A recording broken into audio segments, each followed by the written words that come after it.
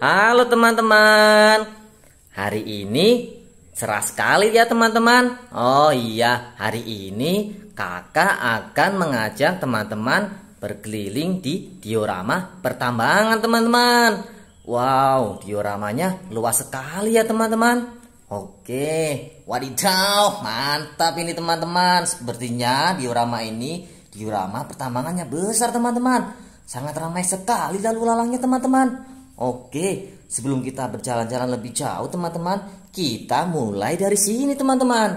Ya, apa yang kita lihat di depan ini adalah truk beko teman-teman. Truk ini berguna untuk mengambil pasir teman-teman. Waduh, ayo kita lihat lebih dekat teman-teman. Hmm, ada dua di sini teman-teman. Ya, di sini ada dua truk beko teman-teman. Wah, kita lihat di sini Sayang sekali teman-teman, truknya sedang mengalami kerusakan pada rodanya teman-teman. Hmm, mungkin sedang akan diperbaiki teman-teman. Ya, kita la kita lihat lagi di, di sebelah sini teman-teman. Wah, ada apa ini ya? Oh, ada truk pasir atau truk pengangkut pasir atau truk pengangkut batu bara atau kita juga bisa menyebutnya sebagai dump truck.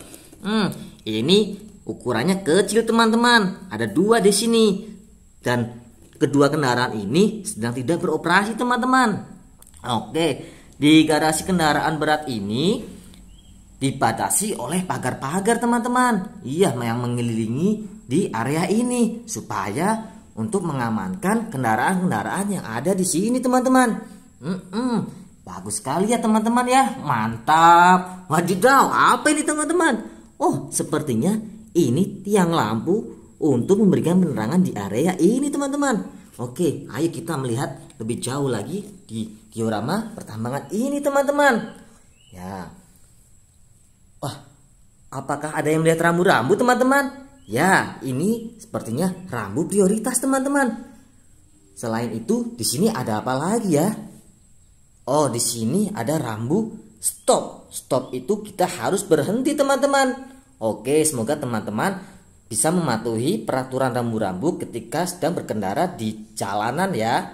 Oke teman-teman. Wah, teman-teman, kita setelah dari garasi, kita bergeser lagi ke sini teman-teman. Di sini ada apa ya? Oh, di sini ternyata ada pom pengisian bahan bakar teman-teman. Hmm, tapi sebelum melanjutkan ke sini, jangan lupa like dan subscribe-nya ya teman-teman yang ada di pojok bawah situ. Oke teman-teman, mari kita lanjut.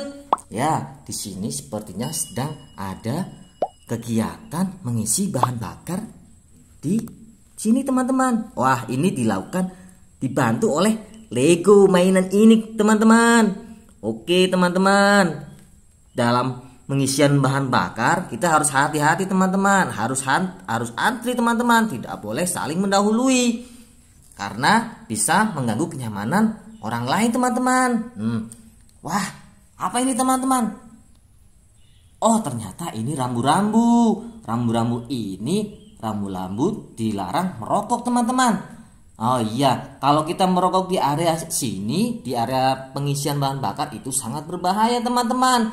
Dan ada juga larangan mengambil foto atau mengambil gambar melalui kamera teman-teman. Dan yang terakhir adalah dilarang makan di area sini karena akan mengganggu kenyamanan di area sini dan berbahaya teman-teman. Oke, wah kita lihat lagi teman-teman.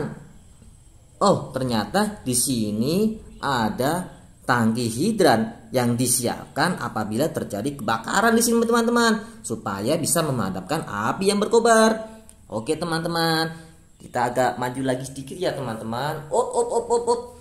Apa itu?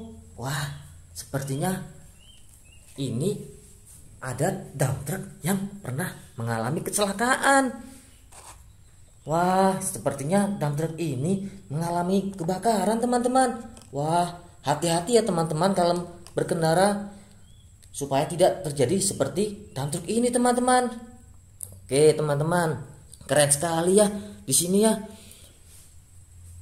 Di tempat ini selain ada petugasnya yang melakukan pengawasan dalam mengisi bahan bakar juga disertai rambu-rambu teman-teman.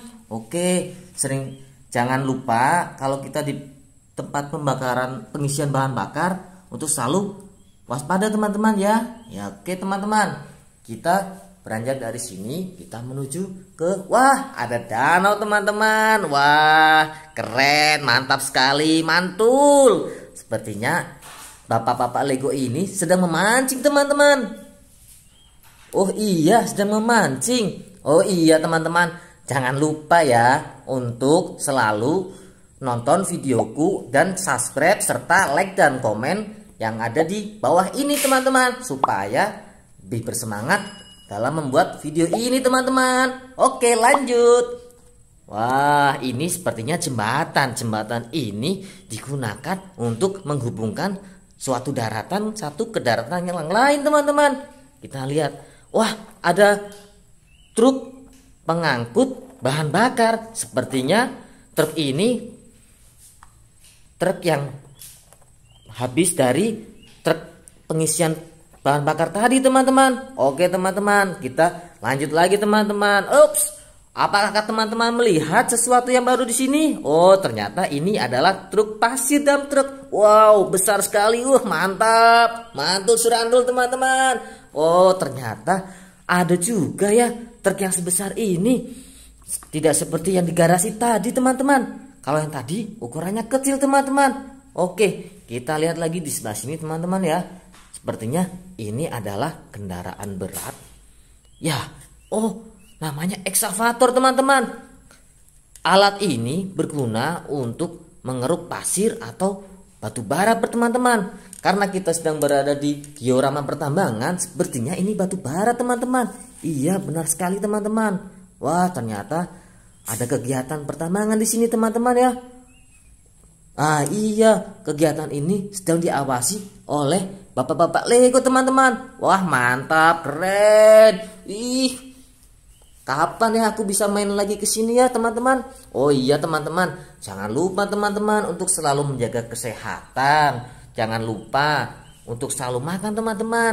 Nanti suatu saat aku ajak lagi teman-teman untuk berkeliling dan lebih mempelajari alat-alat dan area sini teman-teman. Oke teman-teman. Oh apa ini teman-teman?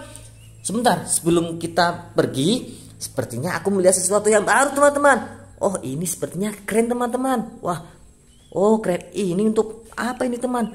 Untuk mengangkut sesuatu teman-teman, memindahkan sesuatu teman-teman. Wow, beratnya berapa ini teman-teman? Sangat berat mungkin sampai 200 kg. Wah, mantap. Mantap teman-teman.